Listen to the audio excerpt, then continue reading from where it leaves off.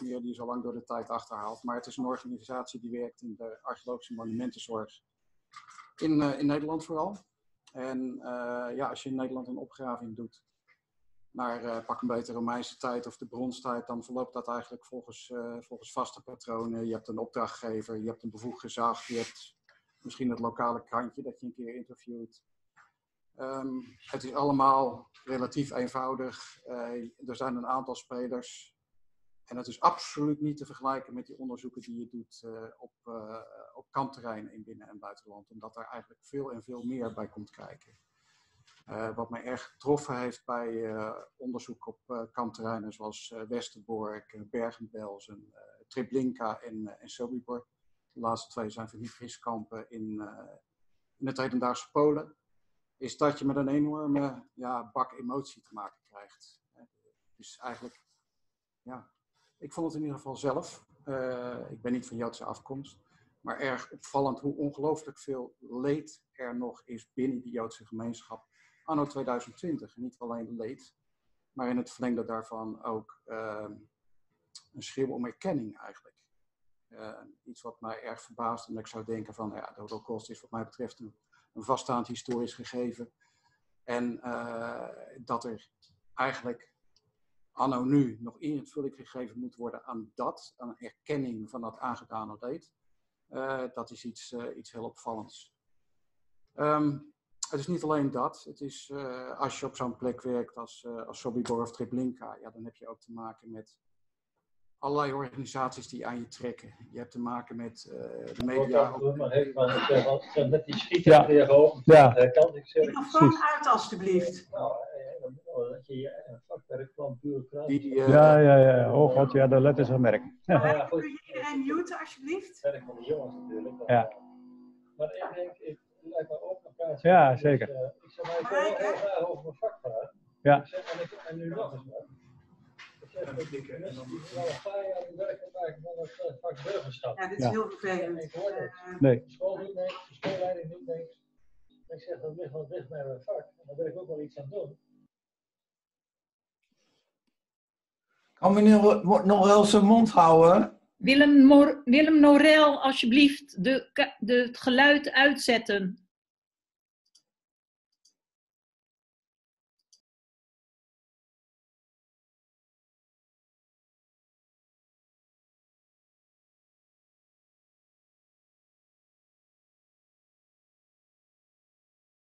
Maar, uh, we gaan gewoon verder. Uh, je krijgt te maken met uh, aandacht van, uh, van de wereldpers. Um, en allerlei, ja, zeg maar, internationaal spanningsveld waarin je eigenlijk, eigenlijk opereert. dat maakt het werk uitdagend, het maakt het werk bijzonder, het maakt het werk extreem. En kijk, natuurlijk publiceer je over dat soort onderzoek. Je schrijft onderzoeksverslagen, je schrijft wetenschappelijke artikelen. Maar ik had het gevoel dat eigenlijk heel veel van wat ik had meegemaakt en ook de, ja, de theorieën die ik daarbij had uh, opgedaan, dat ik die niet op een goede manier kwijt kon in, in dat soort rapporten en dat soort wetenschappelijke artikelen. Um, daar zit ook zeker zelf een stuk, uh, stuk emotie van mezelf uh, bij. Ik bedoel, het is, het is onderzoek naar massagraven of gaskamers is nou niet iets wat een mens ongestoord zou moeten laten. Ik bedoel, dat zou iedereen, iedereen raken. En dat wou ik ergens een plek geven. Dus toen kwam ik op het idee om een, uh, om een boek te schrijven. Ja, dat is, uh, dat is uh, dit, dit boek geworden. In de schaduw van een nachtvlinder, een archeoloog op zoek naar, naar sporen, sporen van de holocaust. En ik heb gekozen voor um, specifiek deze vorm. je mag het voor mij literaire non-fictie noemen. Dat is misschien een beetje, een beetje pretentieus. Maar het is zeker geen, geen wetenschappelijk werk. Dus ik heb vrijheid lopen schrijven over wat ik allemaal heb meegemaakt in die, uh, in die kampen.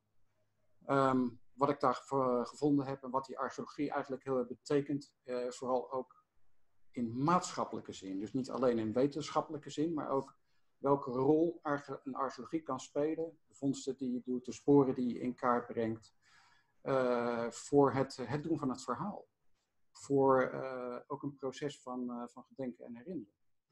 Um, ik lees even één klein, klein, stukje voor. Dit is een boek van verbazing. Verbazing over hoeveel kampen er eigenlijk zijn geweest. Verbazing over hoe er na de oorlog mee is omgesprongen. en verbazing over wat er nog van over is, maar wat weinig mensen kunnen zien. Een archeoloog kijkt naar de ruimte om zich heen. Het is die ruimte waarin de fysieke resten van de geschiedenis zich bevinden. In bossen en struiken ben ik tegen gebouwtjes aangelopen, heb ik muren blootgelegd, ben ik in kelders afgedaald, heb ik schoenen en prikkeldraad opgeraapt. Het verbaasde me dat de sporen van wat we de holocaust noemen, daar zomaar liggen, ook in Nederland.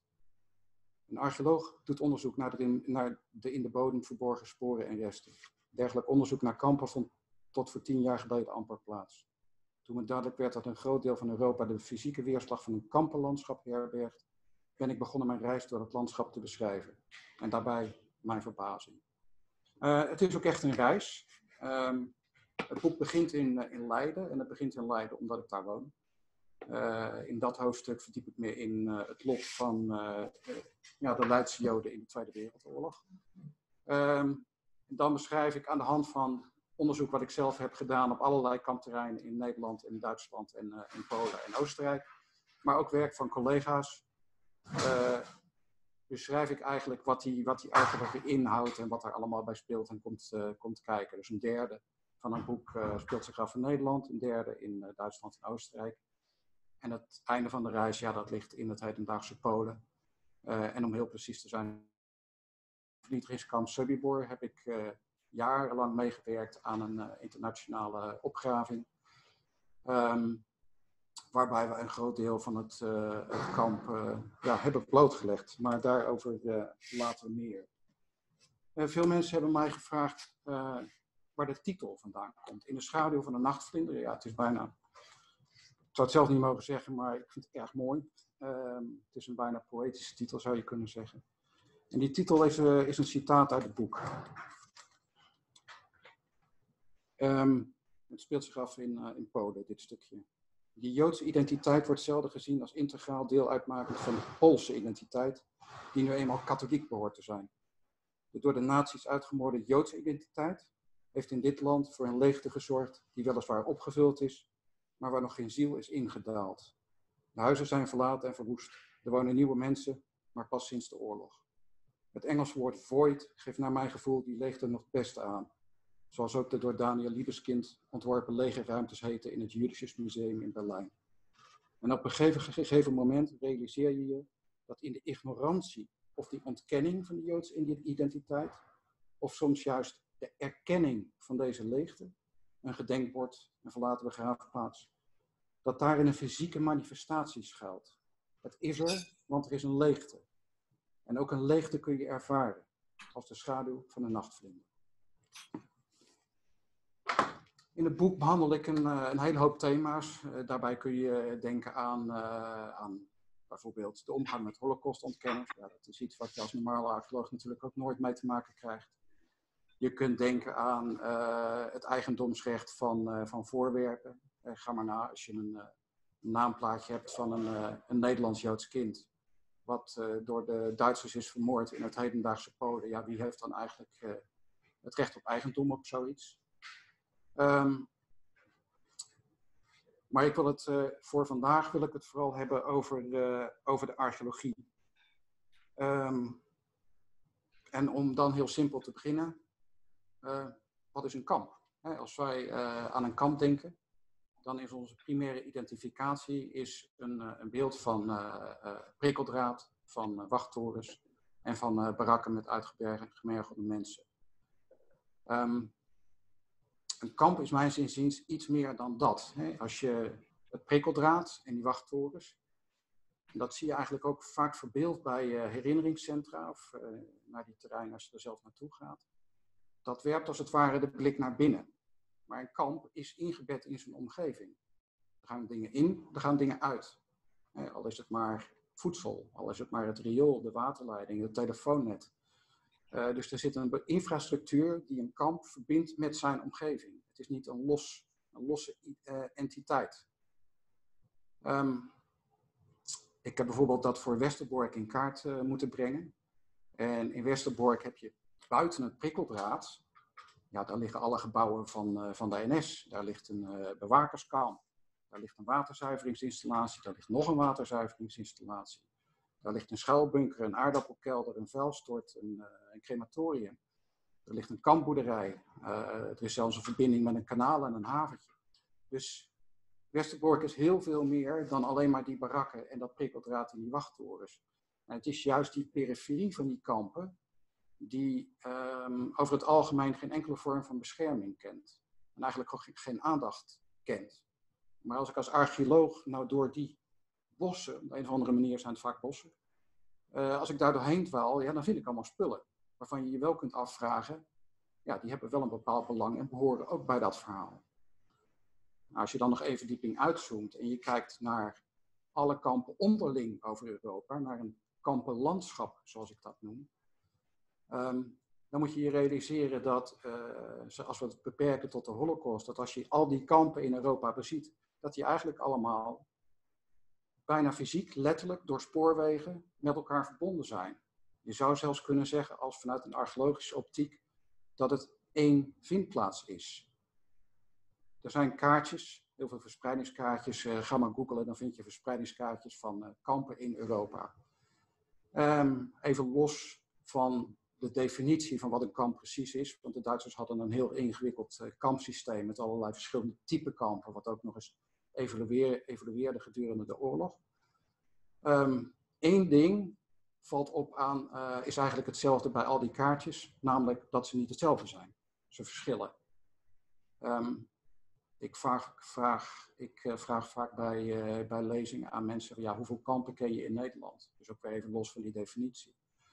Je krijgt, ik zal het, ik zal het nou niet vragen, um, maar je krijgt meestal drie namen. Je krijgt Westerbork, Amersfoort, Vught en op zijn best krijg je er nog een vierde of een vijfde naam bij.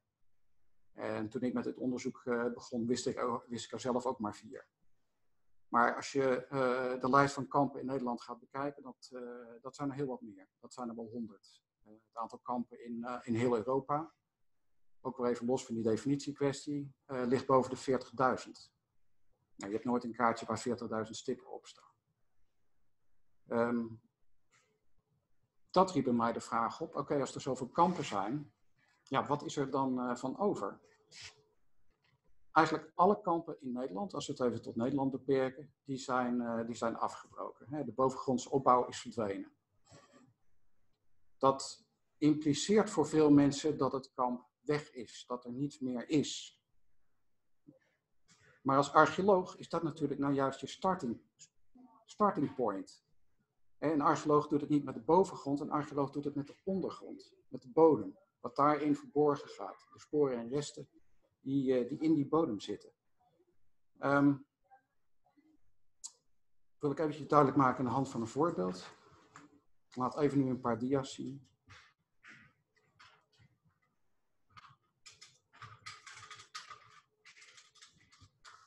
Even naar de eerste dia. Nou.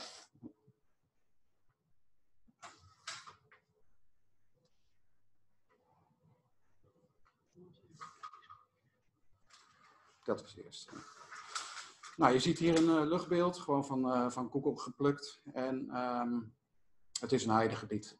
Uh, als je heel goed kijkt, is er iets op te zien. Maar op dit beeld ja, zien we eigenlijk niks. Dit is een havelte of uh, ten noorden van Havelte, waar uh, vroeger het uh, Duitse vliegveld Havelte lag. Volgende dia graag. En daar staat, daar staat dit gedenkbord. Hier lag een kamp voor Joods gemengd gehuwden. En de Duitsers hadden een, een geraffineerd systeem voor de opvang van verschillende groepen Joden. En je had natuurlijk Joodse mannen die met een niet-Joodse vrouw getrouwd waren. Dus met een katholieke of protestantse vrouw. Um, daar waren speciale kampen voor. En een van die kampen lag in uh, Havelte en die mannen die werden gedwongen om mee te werken aan, uh, aan de aanleg van dat vliegveld. Um, als je naar zo'n monument kijkt, en in veel van die kampen heb je monumenten staan, onbedoeld trekt het een beetje de aandacht weg van wat ik dan als archeoloog als ruimte ervaar. Waarin verderingsresten liggen, waarin die sporen liggen, waarin je vondsten kunt doen. Dat monumentje is een puntlocatie. Um, en suggereert eigenlijk een beetje van, kijk, dit was er ooit. Oftewel, er is niks meer. Nou, als archeoloog zie ik dat een beetje anders. Volgende dia. Hier eh, zie je een, eh, een, een detailfoto en je ziet eh, in de begroeiing al een open vlakte die net even iets hoger ligt. En als je dan de volgende dia ziet, de rode stip is de plek van de foto. Dit is een, eh, een laserscan. Eh, eigenlijk is het een heel gedetailleerd hoogtebeeld. En als je goed kijkt, ja, dan zie je allemaal ehm, barakken eh, afgetekend op dit beeld met een, eh, met een omgreppeling.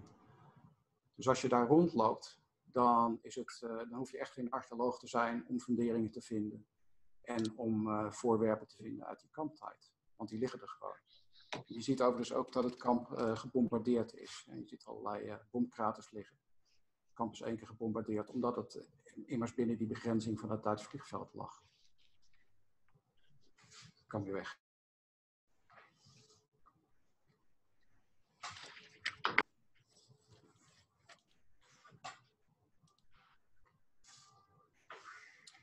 Ja, een ander thema wat ik in, eh, in het eh, boek eh, beschrijf is de herinneringsparadox. Nou, dat vergt wat toelichting. De herinneringsparadox is, is iets waarvan ik hoop dat hij, dat eigenlijk snel verdampt. Ehm, er bestaat, kijk, als archeoloog ben je in het onderzoek naar de Holocaust ben je een beetje de new kid on the block. Ehm, de herinneringscentra, niet alleen in Nederland, maar ook in Duitsland, Frankrijk, eh, België, Polen, Oostenrijk. Die zijn eigenlijk allemaal eh, historisch gedomineerd. Dus ze hebben een dominant historisch perspectief. En het historische verhaal zegt ons dat het kamp afgebroken is. Tenminste, dat geldt voor de meeste kampen. Dus er is niks meer. Een herinneringscentra heeft een bepaald doel. Die wil dat gedenkproces vormgeven. Eh, die, wil een, eh, educatief, die wil die terreinen educatief ontsluiten. Die maken plannen. Die bouwen ook. Eh, en het komt tot op de dag van vandaag voor dat er musea, zoals in Sobibor, midden in het voormalige kamp worden gebouwd. Daarbij volledig vergeten dat er zoiets is als een bodemarchief. Hè, want dat is dus wat de archeoloog hier vertelt. Ja, maar wacht eventjes. Eh, bovengronds is het weg, maar in de ondergrond is het zeker niet weg. Die funderingen zijn er eigenlijk nog. En dat zijn nou juist de laatste fysieke resten die je van zo'n plek hebt. En die je zou moeten bewaren, en die je zou moeten beheren, en die je zou eh, moeten ontsluiten en toonbaar maken. En eh, keer op keer loop ik er tegenaan dat er plannen gemaakt worden binnen herinneringscentra. En die jou als archeoloog voor een fait accompli stellen. We bouwen een eh, museum en we bouwen het midden in het kamp. En jij wordt ingehuurd om vooraf de opgraving te doen. En dat noem ik de herinneringsparadox. Want er gebeurt eigenlijk iets heel geks. Dat museum moet invulling geven aan de herinnering. Maar om het museum te bouwen, worden de laatste fysieke resten, die nou juist getuigen van die herinnering, die worden ja, vergraven. Want als de archeoloog geweest is, is het misschien wel gedocumenteerd. Maar het is wel weg. Het is er niet meer. Ehm, nou, dat is een, eh, een, eh, een belangrijk thema in, eh, in mijn boek. Ehm, wat de archeologie jou uiteindelijk geeft, is een ruimtelijk functioneel inzicht in hoe die kampen in elkaar zaten. Heel simpel, waar stond wat en welke functie hadden die verschillende gebouwen. Uh, en dat geeft je daarbij ook de, materiële cultuur, zeg maar de vondsten, de voorwerpen. Die zijn niet op zichzelf staand. Het gaat altijd om de relatie tussen het een en het ander. Dus een vondst heeft een context. En die context vertelt jou een verhaal over een vondst.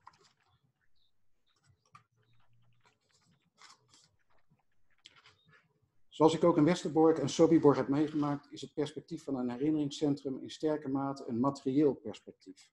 En een herinneringscentrum heeft een museale functie, die wil een voorwerp tentoonstellen. Waar op zich een zekere logica in zit. Het gaat om voorwerpen en ja, die hebben op dergelijke terreinen een sterke zeggingskracht. Maar archeologie is in de eerste plaats de relatie leggen tussen sporen en vondsten. De context waarin we de vondsten doen is belangrijk, niet zozeer de vondst zelf. Een afgebroken kies is een afgebroken kies.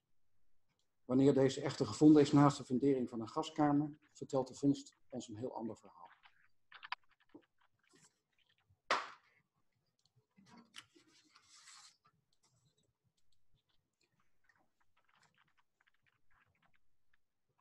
Het is niet alleen die vondst die wat mij betreft een uh, betekenis heeft. Er zit ook iets in het in het werken van de archeoloog zelf, heb ik gemerkt.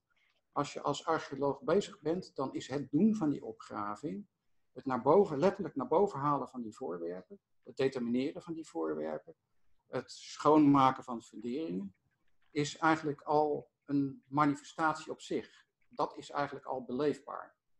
Daar zit ook een bepaalde waarde in. Ehm, het herinneringscentrum Westerbork heeft dat eigenlijk heel goed eh, erkend en heeft mij ook eh, op het terrein laten werken, maar dan binnen de vaste expositie. Dus was ik eigenlijk deel van de expositie.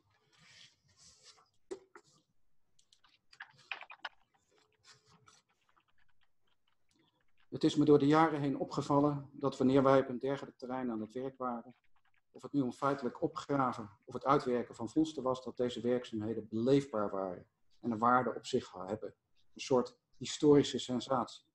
Het met je handen uit de grond halen van een zakhorloge of een scheermes, of er als toeschouwer naast staan, verbind je plotseling met een verleden dat het jouwe wordt. Nederlands beroemdste historicus Johan Huizinga introduceerde het begrip, historische sensatie. In zijn woorden een dronkenschap van een ogenblik, waarin de bereidheid geldt een connectie aan te gaan met dat verleden. Daarmee voor even de context vergetend van dat voorwerp en van jezelf.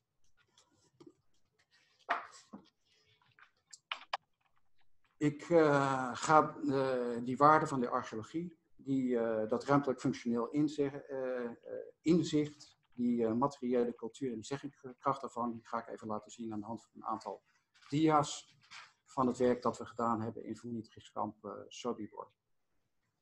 Sobibor is een, een kamp in Oost-Polen, een kamp waar bijna 200.000 mensen vermoord zijn. En dit is een, een beeld van hoe het er een paar jaar geleden uitzag. Het is, uh, het is eigenlijk een bos. Uh, er is een opstand geweest, een ontsnapping in 1943. Hebben de Duitsers zelf, eind 43, begin 44, hebben de Duitsers zelf het kamp afgebroken. En hebben ook bomen geplant om hun sporen te camoufleren. Dus dit kamp is op geen enkele manier zoals Auschwitz of Buchenwald of uh, Majdanek um, ook dat hele beeld wat ik je schetste van uh, barakken en prikkeldraad en wachttorens, ja, die waren er wel. Maar dit kamp was nooit gemaakt om heel veel mensen te herbergen. Dit kamp is gemaakt om heel veel mensen te vermoorden. En zo snel mogelijk die lichamen tot as en uh, tot as te verwerken. Dus het is ook heel klein. Uh, dat uh, onderscheidt Sobibor en Treblinka en Belzec en ook Gelmno heel erg van, van de andere kampen. het zijn hele kleine kampen, die door de Duitsers eigenlijk zelf uh, ja, uh, uitgewist zijn. Daarbij hebben ze zeker niet als archeoloog gedacht, want dat bodemarchief, die ondergrond, met al die sporen en resten, ja, die is daar wel degelijk aanwezig. volgende dia. Onlangs zijn er foto's opgedoken van het kamp. dat is echt heel frappant. foto's zijn gemaakt door een zekere Nieman, een dader, een SS'er. En het geeft een onthutsend beeld van uh, Sobibor als zijnde een, ja, ik zou bijna zeggen, een soort ontspanningsoord voor vermoeide SS'ers. Die indruk krijg je een beetje als je door dat fotoboek uh, bladert. Um, wat heel erg opvalt aan die foto's is wat er niet op staat. En wat er niet op staat, is nou juist dat deel wat wij hebben opgegraven. Je ziet op die foto's zie je geen, vrijwel geen gevangenen. Je ziet vrijwel geen transporten, mensen uh, die naakt naar gaskamers gingen, daar, uh, waar de lichamen verbrand werden, massagraven. Dat zie je allemaal niet op die foto's. Uh, dit is wat je ziet. Je ziet SS'ers die na het werk een, een borrel nemen. Volgende dia. En deze foto's, dat is eigenlijk op dit beeld, is allemaal, zijn eigenlijk allemaal genomen in het zuidelijk deel van het kamp. Dus op dit beeld is dat het, het linkerdeel. Dat archeologisch werk dat wij hebben gedaan, heeft zich vooral afgespeeld in het rechterdeel van dit beeld.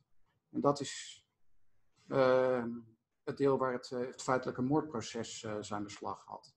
En je ziet daar een, een, ja, je zou het kunnen zeggen, een omheining binnen een omheining. Dat is, wordt kamp 3 genoemd. En daarbinnen liggen de gaskamers en de massagraven en de vuren waar de lichamen verbrand werden. Volgende dia.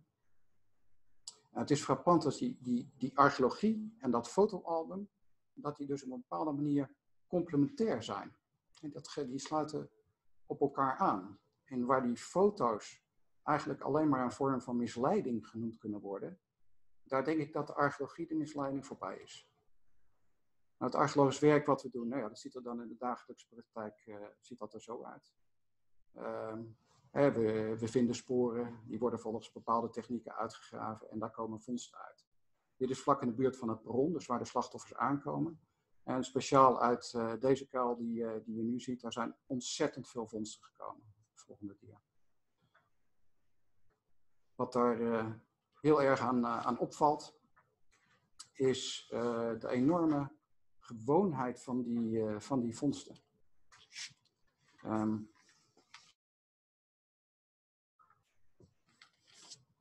ja, die blijft even hangen. Maar de dingen die je daar vindt, die zijn van een eh, extreme alledaagsheid. Je, je vindt daar eh, ja, scheermesjes, eh, vingerhoedjes, brilletjes, tandenborstels, kwasten, borden, bestek. Eigenlijk de gewoonste dingen.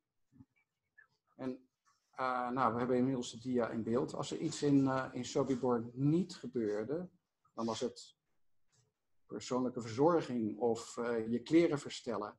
Ehm, en toch zijn dat de dingen die mensen hebben meegenomen, omdat ze dachten dat ze daar nog een bestaan konden opbouwen.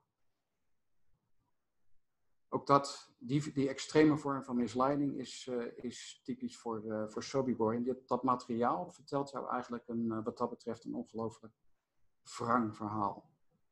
De volgende dia. Eh, verderop in, eh, dus meer achter in het kamp, waar, wij dan gewerkt hebben in dat eh, zogenaamde kamp 3. Je ziet hier de fundering van, eh, van de gaskamers, zoals die in augustus eh, 2014 eh, hebben die teruggevonden en, en blootgelegd. Ja, daar vind je eigenlijk heel weinig vondsten meer. De slachtoffers die werden vooraan bij het perron werden ze ontkleed. Ze moesten door een lange gang lopen. En eh, kwamen uit in de gaskamers en hadden dus eigenlijk ook helemaal niks meer bij zich. Dus het aantal vondsten wat je daar doet is eigenlijk miniem. En als je iets vindt, dan is het een oorringetje of een, eh, een hangertje of iets dergelijks. Of een, eh, of een ring. Dus iets wat een, een naakt mens nog bij zich kan hebben. Volgende dia. Ja, die gaskamers, dat was eigenlijk wel een, een, een, kantelpunt binnen het proces. Ook in de zin van dat die archeologie binnen dat proces daarna wel eh, een, een wat andere lading kreeg, wel serieuzer werd, werd genomen. Dus wat ik vertelde over achteraan in het proces zitten en dan ja, eh, de grond als het ware fondsvrij moeten opleveren. Ja, dat kan je bij die gaskamers niet maken. Die funderingen die zijn blijven zitten en eh, zijn bewaard en eh, zullen te zijn tijd ook eh, op een bepaalde manier ontsloten en zichtbaar gemaakt worden. Eh, je ziet hier uitgezoomd een van die, van die gaskamers. En dan even naar de laatste dia. Voor mij gaat het hele verhaal over, over Sobibor en dat onderzoek gaat het uiteindelijk over, over mensen. Het gaat over slachtoffers. Nou, we hebben af en toe eh, persoonlijke voorwerpen gevonden die daadwerkelijk te herleiden zijn naar één persoon met één naam. De- Als je daar eh, als je veel leest over de Holocaust, dan is het een beetje de abstractie van de grote getallen. Ehm, het zijn dit soort voorwerpen als het naamplaatje wat je nu ziet, dat, eh, zeg maar, dat jou een beeld geeft van één persoon, één mens. Eh, en aan dit plaatje wat je net zag, eh, daar kleeft wel een bijzonder verhaal aan. En dat eh, wil ik dan wel even vertellen. Eh, ik heb deze denk ik in een lezing nog nooit laten zien. Het is een militair identificatieplaatje. Ik heb er eh, lang over gedaan om uit te vinden eh, aan wie het eh, toebehoorde. Eh, daar staat een getal op, 122, en dat refereert aan, eh, de Duitsers hadden daar uiteraard een strak systeem voor, aan een, eh, aan een Duits kamp. En wel het kamp de Royalieu. Dat ligt bij Compiègne, eh, nabij Parijs. En het is een militair plaatje, dus dat was, was een beetje vreemd. Maar er staan ook de letters op ZI. Eh, en dat betekent zoveel als eh, civiel interneerd. Oftewel een, eh, een burger gevangenen. Eh, en daar staat een getal op, 9592. En dat getal refereerde uiteindelijk aan een naam. De transportlijsten van dit kamp uh, Royalieu naar Drancy, dat is een beetje het Franse Westerdorp, die zijn bewaard gebleven. En daarop hebben we de naam teruggevonden van uh, 9592. En uh, de naam van de bezitter van dat plaatje was Messaoud Aknine. En Messaoud Aknine uh, was een Marokkaan. Een Joodse Marokkaan.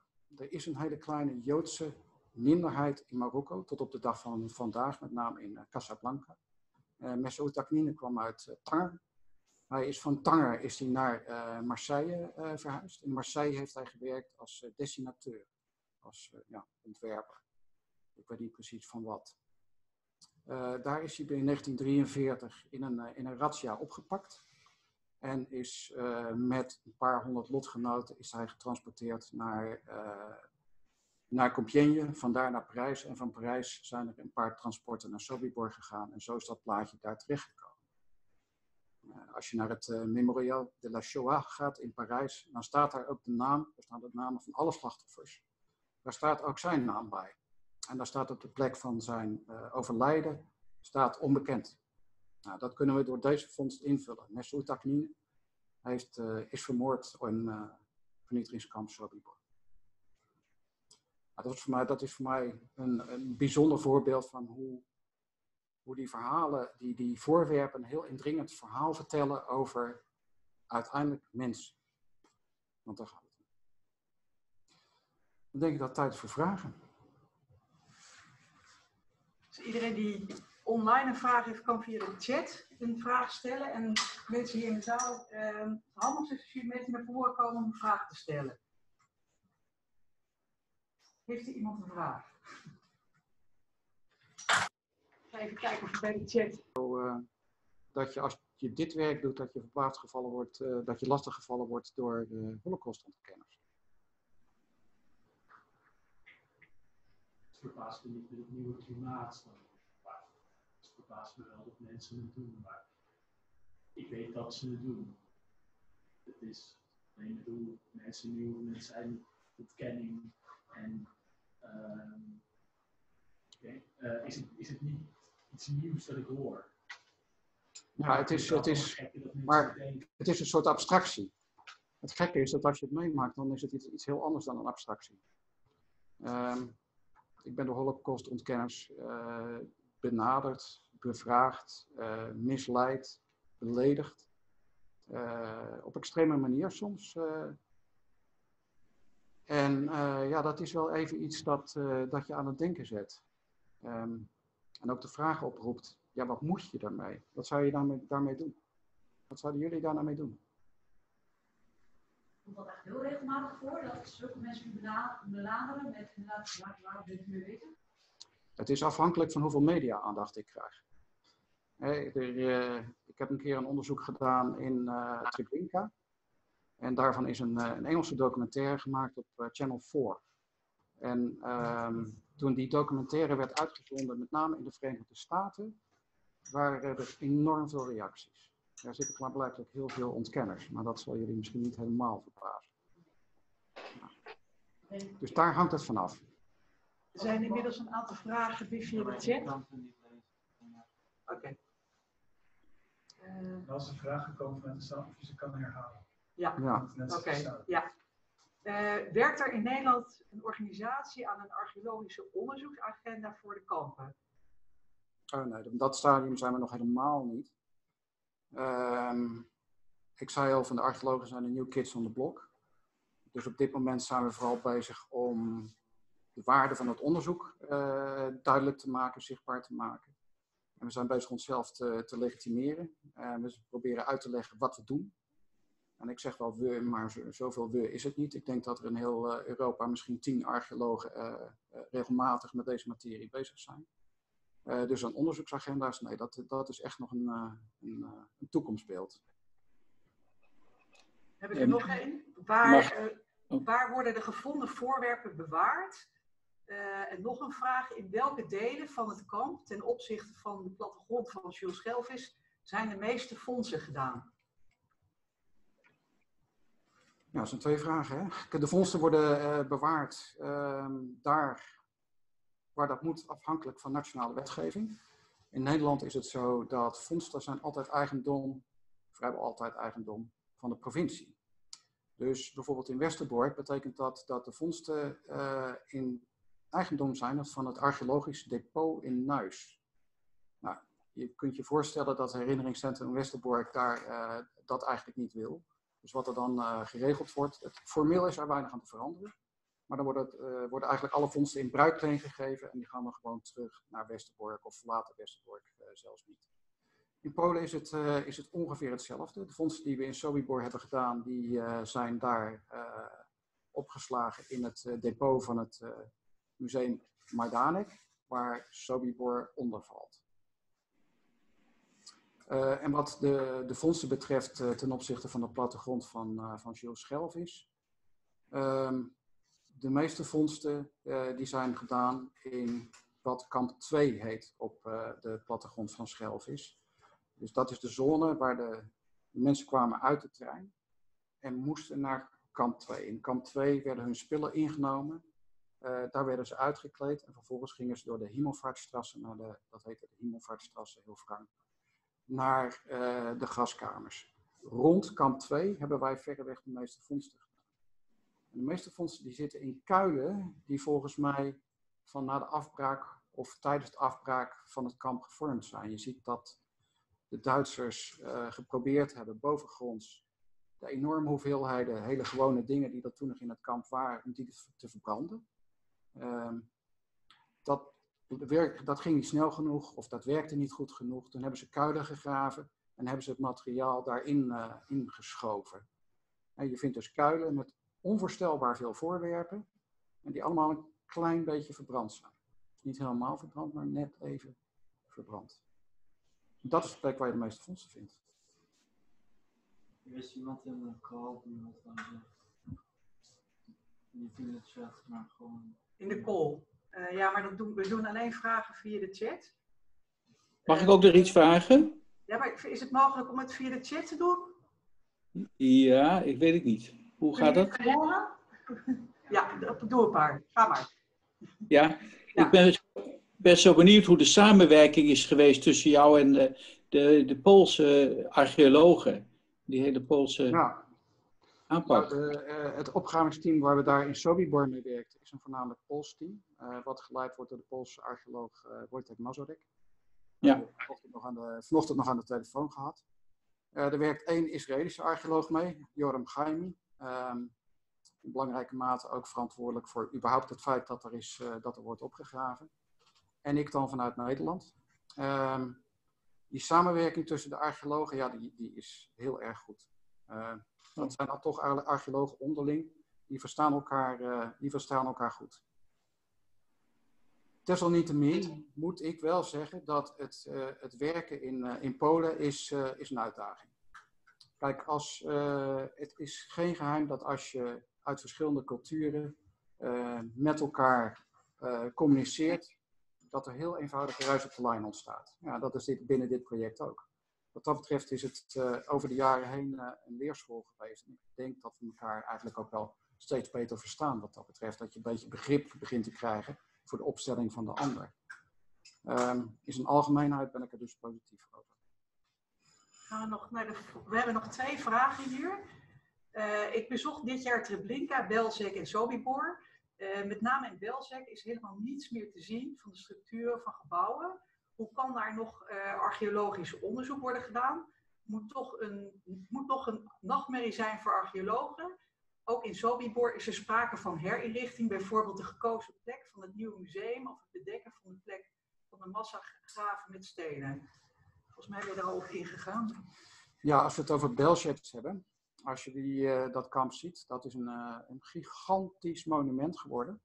En er is bij, dat bouw, uh, bij de bouw van dat monument is uh, absoluut minimaal archeologisch onderzoek gedaan. Uh, ik had het in, in mijn lezing over de herinneringsparadox. Nou, er is bij de bouw van dat monument in Belzec is daar ten volle uitvulling aangegeven. De bouw van dat monument heeft juist de laatste resten en sporen van Belzec effectief opgeruimd.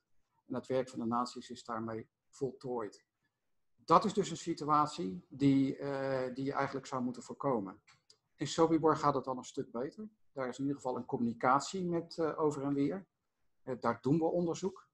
Maar is het wel zo dat het museum is inderdaad wel midden in het kamp gebouwd. Wat er tot toe geleid heeft dat wij als archeologen sporen moesten opgraven. Oftewel gecontroleerd vernietigen. Waar we dat lang niet altijd wilden. Ehm, dat is op dit moment de situatie. Ide- Idealiter is het natuurlijk zo dat je vooraan in het proces meedenkt. Dus als we een plan maken, dat jij als archeoloog daarover meedenkt. Dan zijn we op de goede weg. En langzaamaan gaat het ook die kant op, denk ik. Heb ik nog een vraag? Ehm, de meeste fondsen waren bij lager 2. Maar de belangrijkste zijn toch eigenlijk wel bij de ga- gaskamers, toch? Ja, het is moeilijk om te zeggen wat nou eh, eh, een belangrijke vondst is of de belangrijkste vondst. Eh, het is duidelijk dat die persoonlijke eigendommen dat die heel veel zeggingskracht hebben. We hebben in eh Sobibor hebben we 14 voorwerpen gevonden die naar één persoon te zijn te herleiden, de meeste naamplaatjes. 12 daarvan overigens Nederlands. Eén eh, Duits meisje en één Marokkaanse man. Ehm, dat zijn de voorwerpen die de, die de aandacht trekken. Die zijn overigens door het hele kamp gevonden, zowel voorin als achterin. Eh, kijk, het is logisch dat ehm, wanneer je gouden vullingen vindt bij de gaskamer, dat dat eh, een vondst is die, eh, die, imp- die impact heeft. Ehm, vanuit een wetenschappelijk perspectief is het wat moeilijk om te denken in termen van belangrijk of minder belangrijk. Het boek In de schaduw van een nachtvlinder. Een boek van verbazing, zoals je dat zelf ook al net aangaf. En daar kan ik me alleen maar bij aansluiten. Uit hoofde van mijn functie als oud-voorzitter en bestuurslid van de Stichting Sobibor hebben we elkaar leren kennen. En ik heb ons contact altijd als zeer open, respectvol, ehm, plezierig, vol vertrouwen en ook zonder politieke agenda ervaren. Samen met het ministerie van VWS eh, trokken we samen op en eh, volgden. En we hielden elkaar op de hoogte van wat er speelde. Eh, voor mij als voorzitter in dat tijd was je een hele belangrijke bondgenoot, omdat je eigenlijk mijn ogen op de grond was. Eh, je was er heel veel, meer dan wij. En ehm, zo hoorden wij via jou wat de vorderingen waren van de herinrichting, de opgravingen, hoe er werd gegraven, eh, of dat respectvol werd gedaan en over eventuele vondsten. En daar hebben we het net ook over gehoord. Ehm, je zegt altijd dat archeologie, je haalde het net ook aan, eh, het is eigenlijk in Sobibor is het gecontroleerd vernietigen. Ehm, je graaft, je zoekt naar sporen in de grond en je leest deze. En zodra je verder graaft, worden eigenlijk deze sporen vernietigd. Je kan ze niet meer terugzetten. Ik herinner mij bijvoorbeeld zelf ook dat ik geweest ben en de, de, de uitstekende bouten van het, eh, van het smalspoor, waarvan de bielzen zelf vergaan waren. Alleen deze bouten staken nog uit de grond. Eh, plekken in de grond waar de palen in de grond hebben gezeten, en die, die zagen ook op die foto's van, van Nieman. Van de afrastering van de Hemelvaartstraat. Eh, of eh, bij de huidige parkeerplaats, eh, waar je ze heel duidelijk in dat veld zag zitten. Ehm, de vele voorwerpen, en natuurlijk toch in mijn inziens het ultieme bewijs, en je zei het zelf, het iconische van de vernietiging, de fundamenten van die, die gaskamers die, die opeens naar boven kwamen. Het onderzoek naar de voorwerpen en het zoeken naar eventuele nabestaanden van de artefacten, je gaf het al aan, er waren er 14, waarvan er 12 uit Nederland. Ehm, heb je altijd gedaan met, met doorzettingsvermogen en empathie. Eh, de voorwerpen ehm, maken eigenlijk deze verschrikkingen levend en tastbaar en vertellen het verhaal. En het maken het, inderdaad wat je zegt van dat iconische van hoe het in elkaar zat. En de link naar, naar de mens en het verhaal daarachter. Ik herinner me de vele sleutels, we zagen ze niet op de, op de foto, ehm, die hun huis hadden afgesloten, de sleutel mee hadden genomen. eh, in, het, in de gedachte dat ze ooit terug zouden kunnen gaan om weer hun deur weer te openen en hun huis weer te, in te kunnen gaan. En dan soms is er een naam en kan je de puzzeltocht starten om te zien bij wie het voorwerp hoorde. En of er nog nabestaanden in leven zijn. En soms kom je dan die absurde toevalligheid tegen, zoals het verhaal wat je ook noemde vandaag over de Marokkaan, waarvan je eigenlijk dacht dat het een Griek was. Uh, een link heeft met de de Israëlische archeoloog Joram Haim. En die toevalligheden zijn mij ook een paar keer overkomen. Eén keer met een, een van onze bestuursleden, die mijn achternichtje, uh, tenminste de moeder kende het achternichtje. Uh, maar ook zo uh, een paar weken geleden toen mijn partner kennis maakte met onze overbuurman, een jazzmuzikant. sinds ik half maart thuiswerk zwaaien we naar elkaar van, van onze thuiswerkplek. En mijn partner vertelde dat hij een Sephardische Joodse achternaam had. Te weten, Nunes Vas. Ja. En dat zijn familie ook een geschiedenis had in Sobibor. Ik schrok, want ik herkende de naam natuurlijk. Ja. Ik greep onmiddellijk naar je boek, want ik wist dat er een foto in stond van het deurnaamplaatje. Waaronder inderdaad één met de naam Nunes Vas erop. Um, gevonden naast de ingang van het kamp, uh, waar nu uh, de parkeerplaats is. Um, ook op de dag nadat wij er samen zijn geweest om te praten over het museum um, en, en, de inrichting daarvan. De overbuurman komt deze week uh, een borrel bij ons halen, dus uh, je boek ligt zeker op tafel. De stichting Sobibor heeft als doel het vergroten van de bekendheid van het voormalige nazi-vernietigingskamp Sobibor in het huidige Polen. En je draagt al jaren bij aan deze bekendheid, of de, de, je doelstelling door middel van je werk in Sobibor, je verhalen tijdens presentaties, optredens bij radio- en televisieprogramma's en nu ook middels je boek. We zijn je heel, heel dankbaar. En ik ben heel blij dat ik degene ben die jou deze penning uh, mag overhandigen. Dankjewel, Maarten. Ik, uh, ik schuif hem uh, deze kant Ja.